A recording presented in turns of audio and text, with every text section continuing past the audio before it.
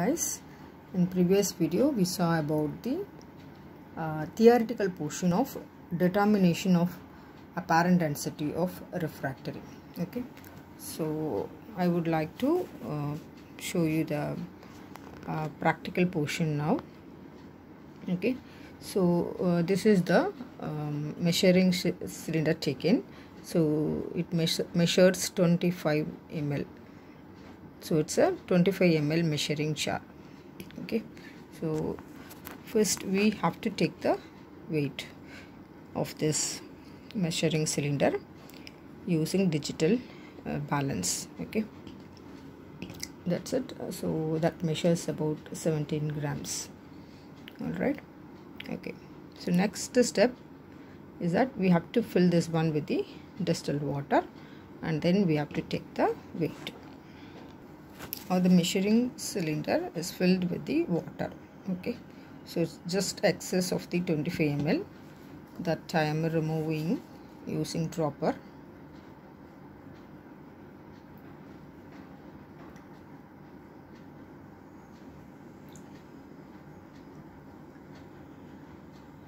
So 25 ml of water distilled water is taken.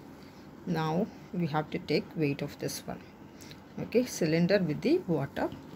So that is here. W1 is equal to 40 grams.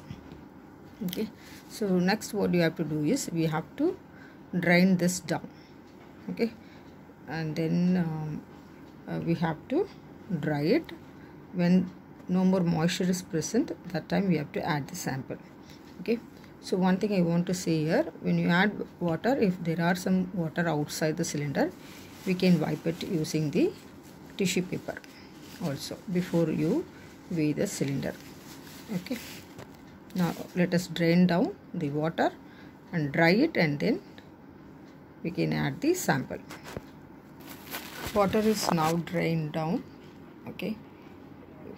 So it should be dry. We can clean it using tissue paper or clean cloth or it can be kept in desiccator or oven for a few seconds so ensure that no moisture present inside the cylinder.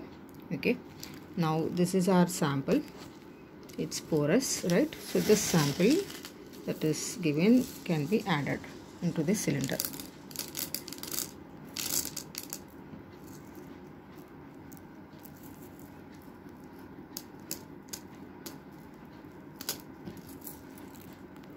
The given sample is added into this cylinder and now this has to be weighed. Okay. So this is weighed as 28 grams. Okay. We got the weight to be 28 grams. That is taken as W. Okay. Next what we have to do? We have to add water in drops. Using dropper okay. So that all the air gaps inside and the pores filled with the water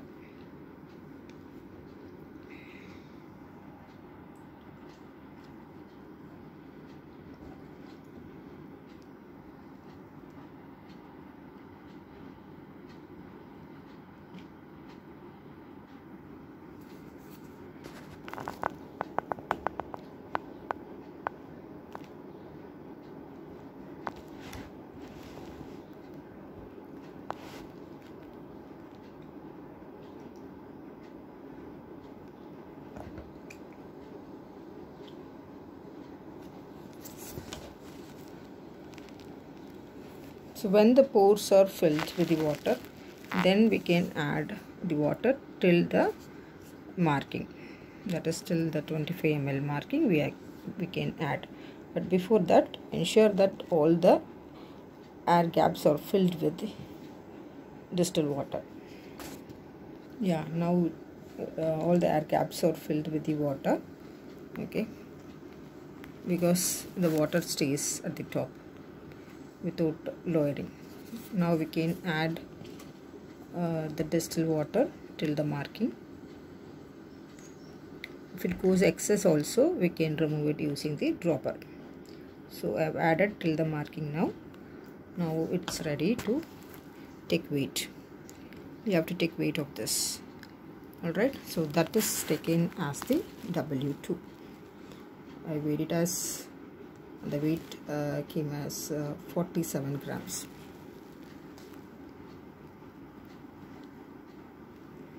I got the weight to be 47 grams. So this is the experimental portion guys. So two two samples will be given. So in the same way we have to try it for the another sample also. So just uh, uh, once again I'll tell. Empty container mass must be taken. So just take I got it as 70 grams.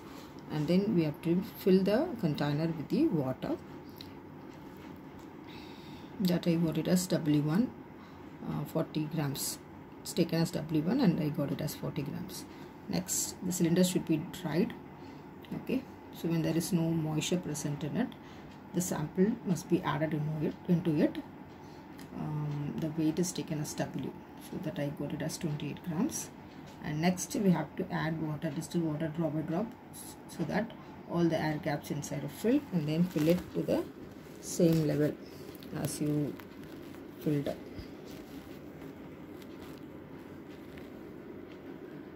Okay so that is actually the W2 it's uh, I got it as 47 grams. Next we need to calculate the specific gravity that is W minus P so W is the weight of the container plus sample. So and P is the weight of the empty container. Then you get the weight of the sample okay. So specific gravity can be calculated using this formula. All right and there is no unit for the specific gravity actually. So the calculations are done. And I got the specific gravity to be 2.75 so that multiplied by the density of water 1 gram per cc you will get the apparent density. 2.75 gram per centimeter cube. Okay guys hope you understood the experiment. Okay meet you all in the next experiment. Thank you